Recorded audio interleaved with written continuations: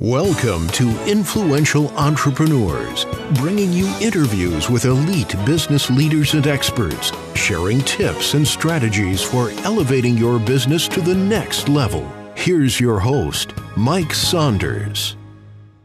Hello and welcome to this episode of Influential Entrepreneurs. This is Mike Saunders, the Authority Positioning Coach.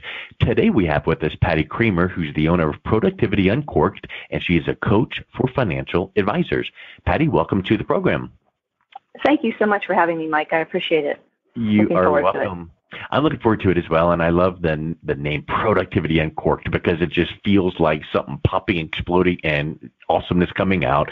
So um, when we talk about productivity, um, I, I, I think that is so important, and and it's not hard. And I think some of the things that you can and will talk about is, you know what, to be more productive, it doesn't mean you have to make a 180 degree change in your life personally and professionally. Just tweak this, polish that, and all of a sudden now that momentum takes over. So I'm excited to learn from you. Give us a little bit of your background and what your entrepreneurial journey has been like. Sure. Well, I've um, been an entrepreneur for oh my gosh since uh, I guess '99 or actually '96. So I've just um, had my own businesses. I started out as a what I thought I invented as a professional organizer, but discovered that there are thousands of them across the country. and um, eventually, I became a certified professional organizer for businesses, where I would go in and do hands-on organizing. And realized that I kept thinking, this is so easy. Why am I helping people and getting paid? But realizing that not everybody has that that skill and eventually became an author and speaker, you know, along the way uh, in those realm in that realm, and eventually also became a productivity coach. So I help, um, and we've niched down to where we help financial advisors, and I work with them daily to help them to be as productive as they can be. Because without productivity, the day just sort of gets away from you, and it's very frustrating and overwhelming. And so I help to get that under control. Um, yeah, I love that, and and I love how you said niche down because so many times, whatever it is, whether whether it's a target market to find a niche or a vertical, it's so important because if you try to be all things to all people, you're no things to no one. Um, right. I'll bet I'll bet that concept of niching down could also be applied to productivity in the sense that, hey, look at this big to do list. It's 427 bullet points. You're not going to get it done today. So let's niche down and focus on what we can do and let's start with this. Let's prioritize that. So how does that play into your coaching? Oh wow. It's that's like the biggest thing. I i have a lot of clients who what i call have what i call the swirls. You know that to-do list is not even written down much less in a mm. plan. So yeah. um, it just keeps swirling around in their head and and just trying to the first thing is is to make sure we capture it somewhere whether it's a crm or a task list on paper or on online. I don't care where it is. But just getting that that stuff out of your head and onto paper so that you can see it. 99 times out of 100, it's not nearly as bad as you think it is or how yeah. bad it feels. And so just getting it on paper and seeing it and being able to then decide which ones are the hot items that need to be done, the must do's, and then the, the should do's, and then the could do's. And really, not a, there's all that's just one step is getting it on paper. And one of my ideas that I have for my clients is just take it one more step and put everything on your to do list into a time slot on your calendar. Don't just say you're going to do it because you'll, I, I call it to do list an avoidance list because you get down that yeah. list, you're like, ooh, I don't want to do that. I don't want to do that. Ooh, I don't want to do that. And you'll even do something that's not on the list. You'll write it on there so you could check it off. But, you know, just taking yep. the stuff that keeps getting pushed and pushed and pushed, make a decision of when you're going to do it, put it in your calendar, and honor that appointment. That is one yes. of the things about being more productive is making decisions about what what you want to do with your time and when you want to do it. So when somebody interrupts you, you can say, "I'm sorry, I can't do that right now. I planned on doing this right now. I can do it for you Friday or next Tuesday." You know, you can sort of just have a reason as to why you can't do something that someone just drops in your lap. Yeah. Um I, yeah, I, I mean, we can unpack that so deeply, and it makes me uh, think about an example of way back in the day. Like, uh, and, and I'm sure that I'll butcher this example, but you'll understand the point, and maybe you'll remember hearing this down the road uh, or from the past. Um, but apparently, Andrew Carnegie from in the late 1800s um, was talking to someone and and talking about you know helping me in my leadership or my organization or management of this company. And it, it says, uh, hey, Carnegie said. Uh, to this this consulting guy, you know, hey, if you can tell me something about management that's worth hearing, I'll send you a check for ten thousand dollars. And back then, ten thousand dollars was today like a gillion, trillion, you know, gazillion. and apparently, as the story goes, you know, he gives him this one task and he does it. And about, I don't know, however many days, months later, sends him a check for way more than that, which was even more than what it would be today. And basically, it was every night write down a list of things you must do the next day and the next day you start with the first one and you don't do anything else until you've done it and then you move to the next one and only i think the number was like three do the top three things and you will be yep. so much more productive so when you were talking about lists it reminded mm-hmm. me of that. And I would venture to say that 0.000 something percent of people, financial advisors you work with, work from that list. So do you find that that's one of the biggest issues that uh, your clients struggle with is actually having a list and then having a sequential way to attack that? Yeah, that's exactly what it is. It's, it's capturing the list first, and then then a lot of folks are not good decision makers. There's a lot of yeah. um, there's a lot of wiring that comes into productivity. People are not always wired, you know, in an organized fashion or a linear fashion. They think, you know, they have they just see things and they just jump to them. They see shiny pennies all over the place. So they and they just jump to it. So having that list is such a critical point and and I often have them pick one to three things at a time because some people can't even do up to three. They just need to have one at a time. And to stay focused, I have them set a timer sometimes because a timer gives you that release at the end so that you set it for 30 minutes and at the end of 30 minutes you kind of assess where am I on this task? Am I done? And if you're not, then set it for another 15 or whatever timeline. But it's just having that focus. Focus is a big point that gets missed yep. um, for a lot of people as they're trying to get some tasks done. So, yeah, capturing that list and being able to choose what's important is critical. Okay, so I have a pop quiz for you. Focus. Good. What does that acronym F O C U S stand for? Because if I'm remembering correctly, there's a really neat um, application to the letters in the word focus. I'm going to fail your quiz. Oh no, I don't. well, um, I believe it is focus on one course until successful. So okay, F, focus and O on one course until one. successful. So that's yes. what focus is: is t- having that mm-hmm. list first, then picking that first one, the high, the one you rank them in in priority order priority, and then focusing on that first one, mm-hmm. not right. multitasking. And we can get into research of how that doesn't work, and we know all those things. But do that one thing, and I would venture to say that if someone tried to have three, four things going on at once while we're doing that first thing, yeah, I made my list, but you're not going to be as effective, as polished as if you focused. Because right now, I don't have social media up. I don't have email up. I'm talking to you mm-hmm. and I'm focusing on this and I'm going, okay, ooh, that's a good point. So how could someone take that one point and apply it to the business? So I love so far we're talking about knowing what you have to do, getting it down on paper, having that list, prioritizing that list because there's some things that you have to do before others, and then starting with that first one with focus. So, what's next? What's next is um, actually it, it's a bigger step than that. I, I kind of want to step back a little bit. It's it's recognizing that many folks who have, if you're an entrepreneur, 99% of the time, I shouldn't even say that much, but a lot of the times you have a have complete control of your time. Nobody tells you what to do.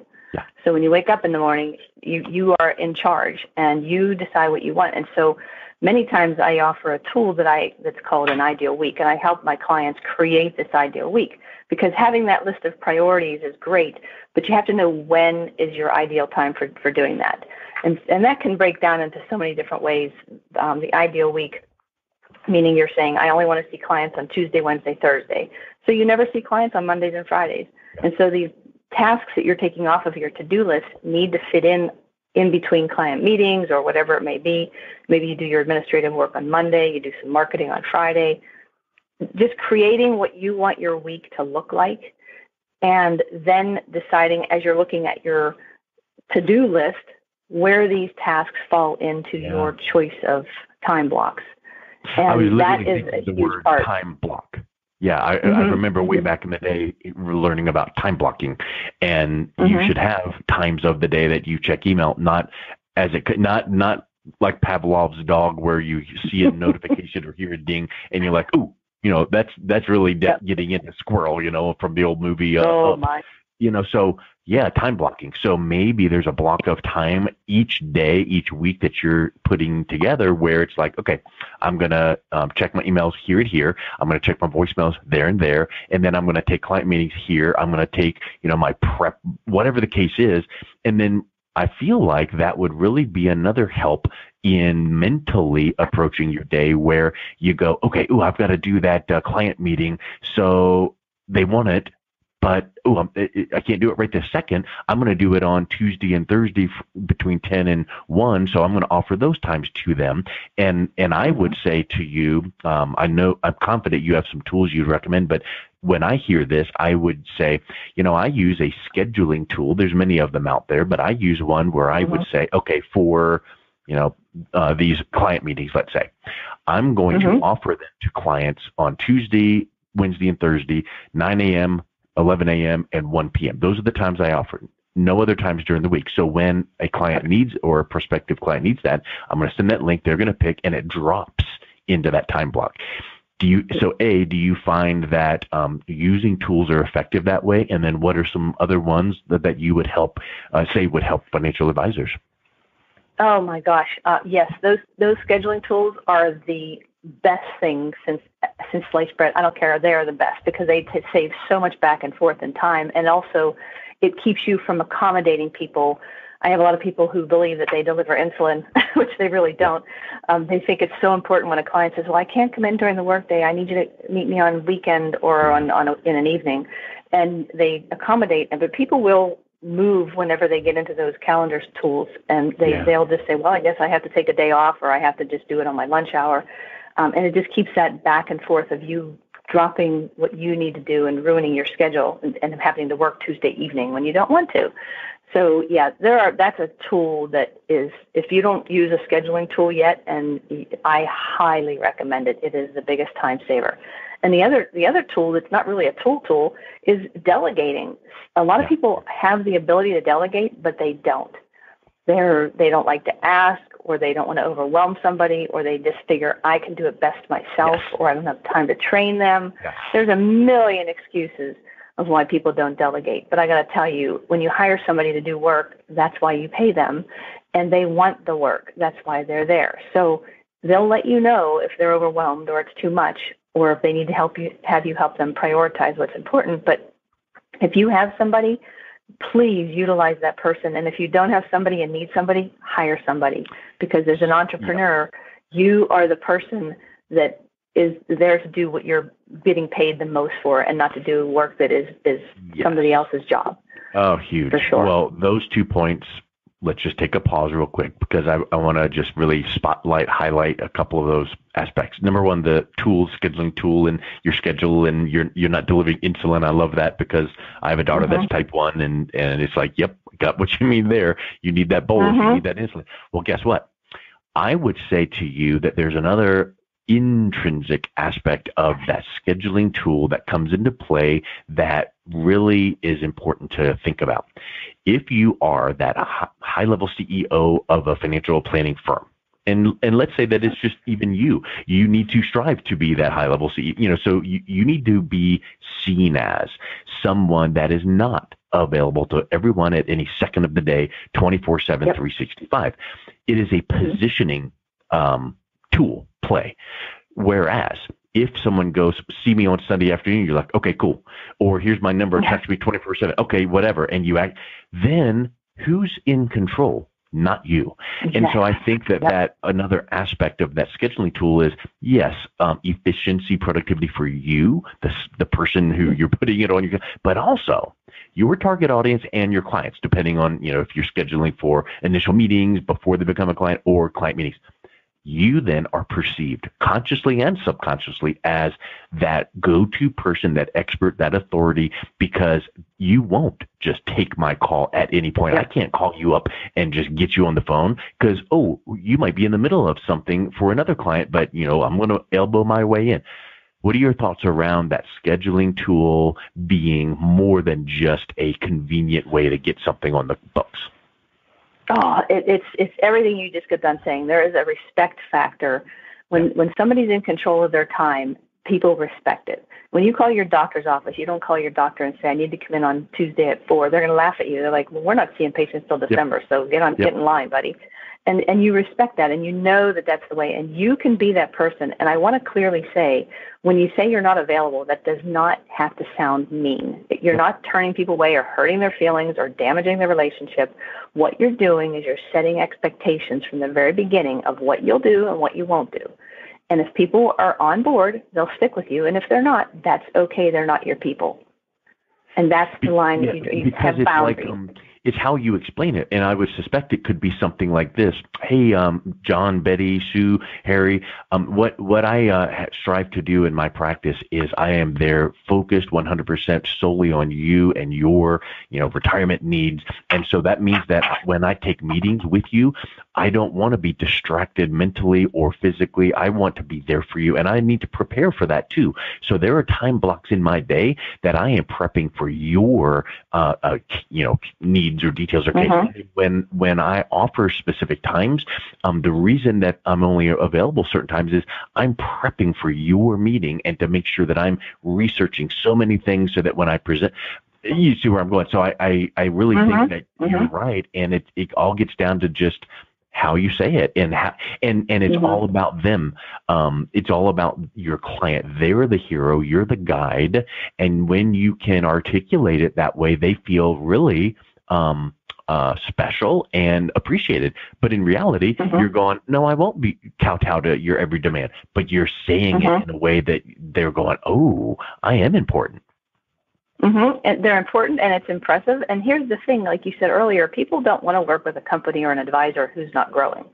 And if you're if you're sitting there waiting like the Maytag man, that's mm. that is not a good sign. And so um, I offer some language just for people to just say, you know, our practice is growing. We, you know, we're we're so excited to say that, and we're making sure that we can serve our clients as best we can. So we're we're no longer seeing clients in the evenings because we're staying focused on the day. Whatever it is, you can yes. just paint that picture. But the key is to communicate it, and not just like when people come to if they're used to meeting you in the evenings and all of a sudden they can't, you need to explain it and give them some reasoning and and just be upfront with them. And I think that's and, really and that transparency is helpful. What do you think about this? And this is you know everything is every client is different, every need is different. But what would happen if you start getting so many requests for evenings and you're sticking to that line? What if you said, you know what? I'm going to open up Tuesday evenings from um, five to 8 uh-huh. where I'm going to meet with clients. But guess what that means?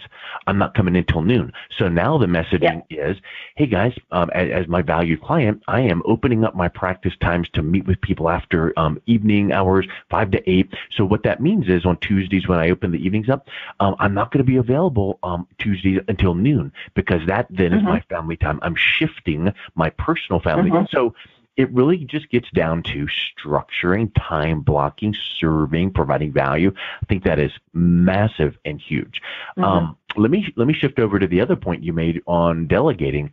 Um, I would I would I've heard this in the past too, so and I'm sure this is an exercise you would take some of your clients through. Hey, write down how much you made last year. Write down about approximately how many hours you worked. What's your hourly rate? Oh, well, if your hourly rate is X, I'll bet you it is more than ten bucks an hour. Well, of course you right. laugh. Uh, you know, and if that's the case, since that's the case, now the next step is I want you to write down in 30 minute time blocks for the next two weeks. What did you do during the work days? Oh, well, this mm-hmm. time block I answered email. I did. And if you then can review the clerical admin type tasks that you really have no business doing, because your hourly rate is way more than 10 bucks an hour, you can find mm-hmm. an assistant, a virtual assistant to do those clerical things that are not client facing and, and, you, you know, things like that. But, but they can update this and send that and reformat this. And you mm-hmm. then stay focused on what is your highest and best use of your time. Is that a good way to think of, of delegating? It's, it's probably one of the best ways to think of it because you shouldn't be doing there's nothing the people who are assistants and virtual assistants they earn their money and and you are you're there for what you're there for. And you need to earn and maybe it's 250 500000 dollars an hour and you need to just really have that support and not try to do it all yourself. So yes. And the other the other thing is is when you're talking about just tracking your time there are tools out there to do that for tracking your time which are really helpful.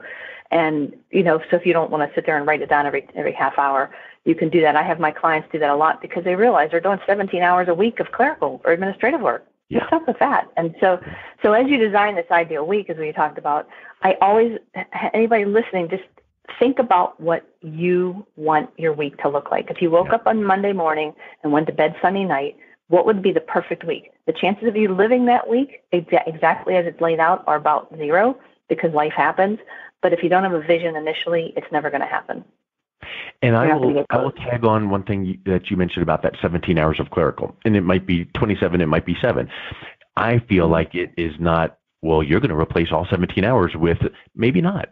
Maybe you're going to uh-huh. replace 10 of those 17 because maybe there's still seven a week that only you can do. And yeah, yeah, I know it's clerical, but it kind of helps me prep for my meetings.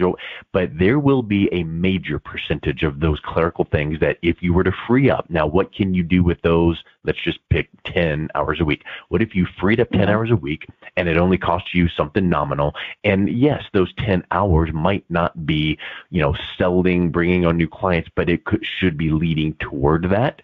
And over mm-hmm. time, mm-hmm. then those 10 hours a week turns into um, increased revenues. So let's be practical too. You know, you, you mm-hmm. cannot mm-hmm. say, every second of every day will be so productive and earning this dollar amount per hour we calculated. So there's going to be those admin clerical things that, yeah, you're going to offload to delegate, but there's still going to be some that you have. We're mm-hmm. never going to get it to be where it's so delineated. So I think, you know, right. let yourself off the hook, you know, realize work mm-hmm. towards, toward that goal, but it's not going to be uh, immediate or it's not going to be something you can change overnight. Right, and it's also it's not always about money either. Either, as you said, sometimes it's just having a lifestyle practice where you actually have a life with your kids and your family, and you have uh, hobbies that you like to do, and you you've neglected them because you're working 80 hours a week.